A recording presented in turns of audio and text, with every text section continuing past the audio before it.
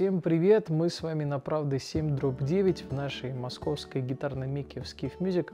Будем говорить о кедре и еле. Каждый выберет то, что ему понравится. Разница кедровых и еловых гитар. Но прежде чем говорить о э, гитарах, попрошу подписаться на наши каналы Skiff Music и Skiff Music Live. Поставить лайк под этим видео и нажать на колокольчик. Спасибо. Большинство гитарных топов изготавливаются из кедра или ели. У каждого из них есть свои поклонники и противники. Дискуссии среди гитаристов о преимуществах и недостатках первого или второго материала порой приобретают весьма бурный характер. Многие гитаристы имеют четкое представление о том, какую древесину они предпочитают. Хотя оба материала имеют свои преимущества, некоторые исполнители просто предпочитают или звук, или внешний вид, а кто-то и то, и другое. Давайте же углубимся в эту тему, чтобы расширить наши гитарные взгляды, и каждый нашел ответ для себя, что лучше, кедр или ель. Многие музыканты склонны думать, что ель звучит намного э, чище, чем кедр – кедр звучит более теплее. Это не лишено истины, но тем не менее сейчас мы разберемся с вами.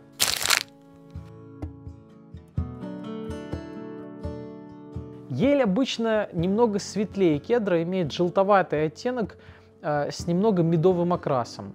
Более зрелая ель, которой уже несколько десятков лет, имеет оранжеватый оттенок, такой э, темно-золотисто-оранжевый. Кедр имеет темно-коричневый оттенок изначально, и в принципе очень легко отличить ель от кедра визуально. Ель светлее, кедр темнее.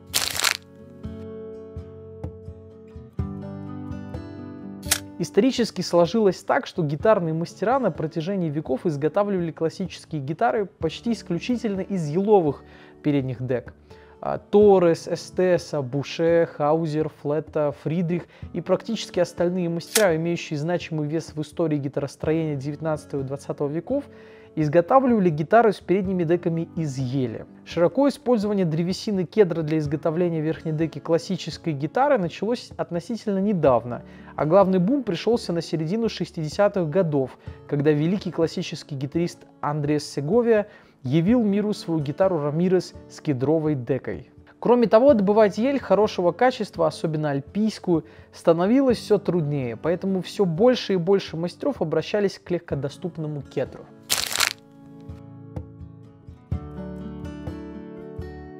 Ель и кедр являются одновременно жесткими и гибкими древесными материалами. Именно поэтому они являются одними из самых популярных для изготовления передних дек акустических и классических гитар. Лучшая ель получается из деревьев, заготовленных в высокогорных районах, поскольку деревья растут медленно и в условиях низкой температуры. С кедром дела обстоят немножко проще. Он не так привередлив в плане его добывания.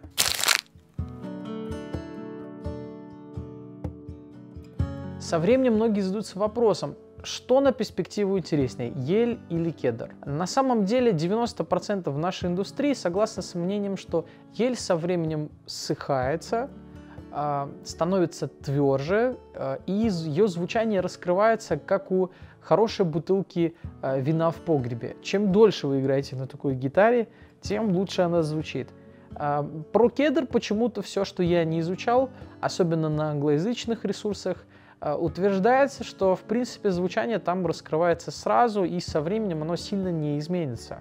Есть что-то магически очаровательное в том, как еловые передние деки меняют цвет с течением времени и как звучание издаваемым инструментом может отражать его возраст. Считается, что звуковые изменения, которые будут происходить со временем с передней декой зели, все-таки более интересно, опять же, чем с передней декой из кедра. Поэтому еловые деки — это привлекательная особенность для любого гитариста, которому нужна гитара, звук которой будет расти и взрослеть вместе с вами. Как правило, снова же передние деки из ели требуется более двух лет разыгранности, чтобы она видоизменяла свое звучание. У кедра, опять же, звучание раскрывается изначально. И какой звук вы получаете сразу, в принципе, точно такой же звук будет на протяжении всего времени. Ель раскрывается позже, кедр раскрывается раньше. Поговорим про разновидности ели и кедра.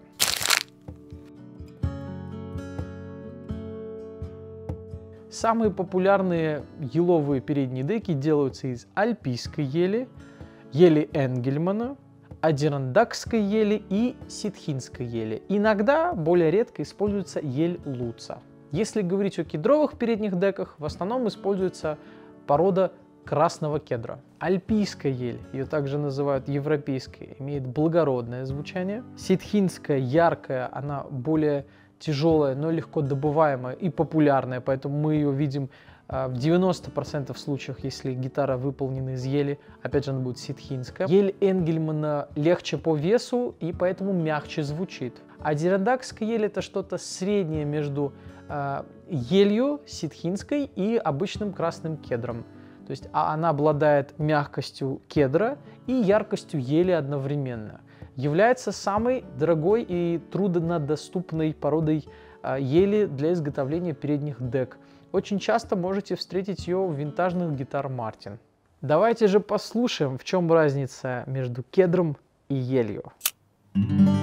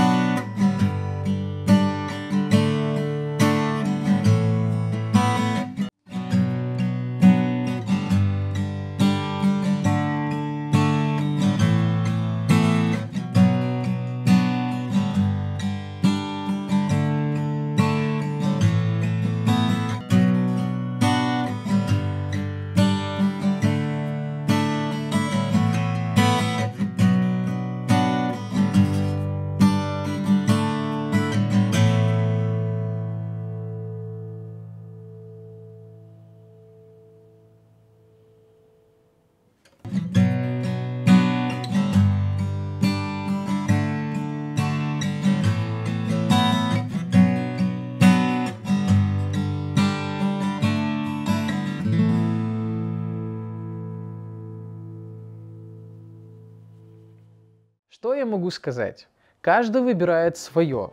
Кому-то нравится теплый, бархатный, глубокий и читаемый звук кедра. Кому-то нравится сбалансированный, яркий, арфообразный, красивый, динамичный звук еловых передних дек. Каждому свое. Гитары разные, они как люди, имеют разный характер, разную внешность, но так или иначе это наш проводник в мире музыки. Именно поэтому хочется, чтобы каждый из вас выбрал то, что ему нравится. Мы ждем в комментариях, а, какое дерево вам понравилось больше, звучание кедра или ели. Можете просто написать кедр или ель. Спасибо. Мы в Skiff Music ежемесячно разыгрываем крутые гитары. Чтобы выиграть гитару, вам нужно оформить заказ от 2000 рублей, и может быть именно вы выиграете у нас классную гитару. Также у нас есть собственный склад в Америке. Мы пакуем и отправляем крутые гитары куда угодно. Каждая гитара проходит гитарную мастерскую, доводится до идеала, великолепно пакуется и отправляется к вам до адреса. Помните, гитары в Music это про счастье. И неважно, кедровые они или еловые.